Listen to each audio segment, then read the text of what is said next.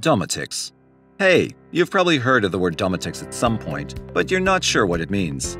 Well, that's exactly what we'll be talking about in today's video, and trust me, it's not anything you'd like to miss. Home automation is acquiring an important place in society these days, and a lot of questions are being born. How did it start? Along what paths did it evolve? Where are we today? And where are we heading with it? You'll find out all these and more if you watch the video till the end. But before we begin, kindly subscribe to this channel and click on the bell-like notification button so you'll never miss out on more interesting episodes like this one. What is Domotics? Wait, it's not as complex as you may think. Domotics is not a kind of mathematics, it's just another way of referring to home automation. Got it? Great. The word domotics comes from Latin domus, meaning house, and the addition tix comes from robotics, computer science, and telematics. Simply put, Domotics is all about the techniques and technologies used to automate a home and the appliances within. Call it smart home, home automation, or whatever feels good. Domotics is characterized by the integration of technology and services to improve the quality of life. Everyone knows technology is very important in our world today. You take it out, and the standard of living comes crashing down like the walls of Jericho. How it all started. Home automation is often seen as the outdated term for what we now know as smart homes. And the reason is not far fetched. The idea was simply for automating tasks at the end of last century. We see these devices as dumb nowadays because they add just a little value to the domotics at home. These products were exceptional for their specific task, but that was it. The second generation of domotics got an internet connection, and you know what that meant. A lot more amazing possibilities we could control devices remotely and collect data using them. Believe me, the bliss that comes with sitting on a couch and controlling devices miles away has no match. Your fatigued self is saved from the stress of going back and forth to put devices to use. And if that's not sweet enough, devices were also much more capable of collecting and analyzing data, allowing you to take direct action on your insights and findings. Your heating is more efficient when your system can notice when you're away from home and automatically turn itself off. Products like this are now called smart devices, and if you use them to automate your home, you can proudly call yourself a smart homeowner. Mind you, home automation isn't any breaking news. It's been around for a very long time now. You're probably the one who's just getting to know about it. Let me show you a video from the 70s that shows one of the first intelligent houses in the world. This house was made by the French engineer Pierre Salda from Belgium, the one who's considered the pioneer of home automation. He built his smart home in 1974, and we see many of his inventions in modern smart homes.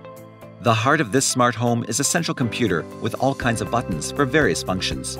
Sald uses these to automate his home life. For example, by hitting a button, he can lower the shutters and switch on his robotic lawnmower from a distance. This really is the first instance of modern day home automation. The evolution. Let's go down memory lane just a little bit. I'll be taking you through the paths along which Domotics has evolved over the years. Stay tuned. A hundred years ago, a smart home was one of the first electric home machinery. Fast forward to the 1980s, and the smart homes were samples of cybertecture, that is, cyberspace's influence on architecture, according to the National Association of Home Builders. By 2008, the number of connected devices on the planet outnumbered the amount of people. Now, there's so many advancements in home automation. We have the enabled and connected and the proactive levels, and they are all within the scope of what we're looking at in this video. At this point, you may want to get a glass of chilled wine and sip gallantly. We move. Today, the enabled home age. Take a pause and imagine a world without Google search. How easy would it be to crawl the web for answers from a secured website? As easy and pleasurable as bathing a cat, I think. Well, thanks to technology, you don't have to stress much over research and things like that. Like a basic Google search that does the web crawling for its users, current home technology is designed to provide convenience and safety to homeowners. A home refrigerator, for instance, makes life a thousand times easier, just as an expanded security system makes the home feel safer. But there's a little problem with these systems. Most of them exist in a vacuum. I mean, you can hardly find one speaking with the other. Each performs its function alone, even though they all require a high level of human involvement. That's a lot of stress, don't you think? For the 20th century, this was okay. However, as the demand for smart home technology grows, so will the need for the kind of connection available in other Internet of Things, or IoT, applications to appear in the home. As a matter of fact, Gartner predicts a whopping 20 billion connected things by 2020. That's nearly three times the world's population of people. For engineers, that means managing hardware protocols that properly communicate with associated software. For designers, there's a balance between quality, cost, and aesthetics, making sure the placement of antennas is quite functional and scalable. The connected home age. As search behavior evolved, so did searches. We no longer need to put in two or three keywords. Full sentences and phrases typed into URL bars yield results. Plus, virtual assistants translate full sentences with spoken queries to similar effect. That's connection. The confluence of increased hardware technology in the form of sensors, interconnects, and their corresponding devices with software, app, gateway, and cloud technology has created the right environment for the same kind of connection in a home. The ins and outs of home automation standards like LonWorks, EnOcean, Thread, Connex, and BACnet are just a few to juggle as connected home technology grows. For an application to be truly successful, it must blend sensing, wireless connectivity, and cloud connection into a single platform. Plus, that platform has to not only allow all the different things in a smart home to speak to each other, but also to speak the same secure language. The future predictive technology in the proactive home. Prediction is all about telling a result before it happens at all. When Google begins to tell what a question is before it's even done, that's prediction. It might interest you to know that homes go through this evolution as well.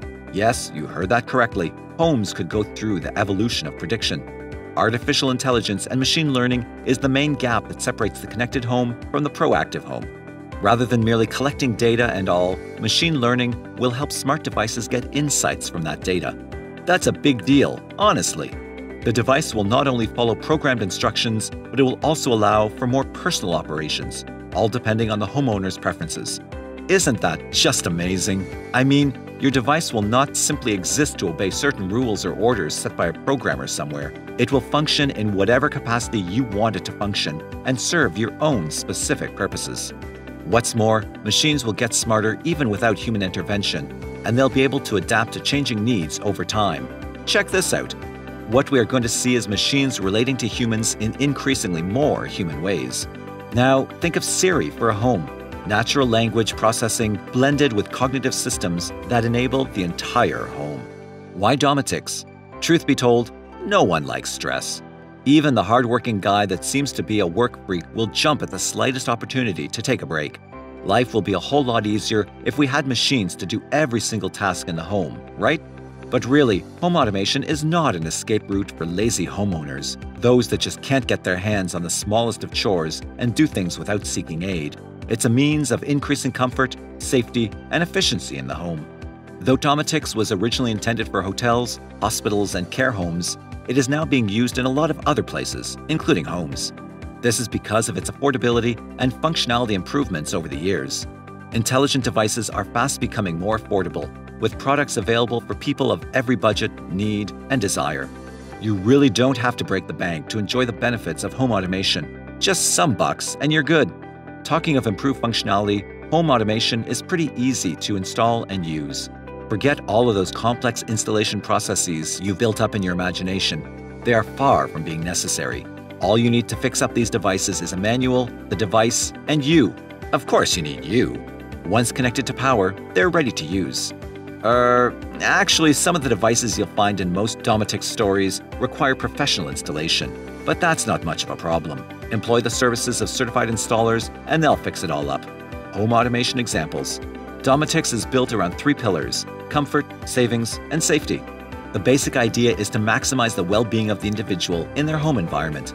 We automate our homes to increase comfort and to ensure that the indoor climate is optimal. Some very good examples of this would be measuring the quality of air in your home and improving upon it, increasing the indoor atmosphere by programming your lighting, or automating your heating system so that it is always the right temperature. Besides comfort, home automation also provides safety for homeowners. These days, there are intelligent alarm systems you can use to ensure security and prevent burglary. They recognize intruders when they break in and make a very loud sound to call for attention. In addition, you can use smart lighting to increase safety in the home. This is how it works. You set up schedules to make it seem like you're always at home, so no one knows whether you're in or not. You can as well control the lights in your home with an app on your smartphone when you're out on vacation. That's just crazy.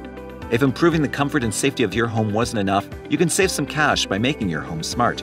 This is possible with the help of smart sockets, energy meters, and shower heads. Some brands even offer solar panels to power connected devices, allowing you to improve your sustainability and provide further savings on energy. And boom, we've come to the end of today's video. If you've enjoyed it, hit the like button and share your thoughts with us in the comment section below.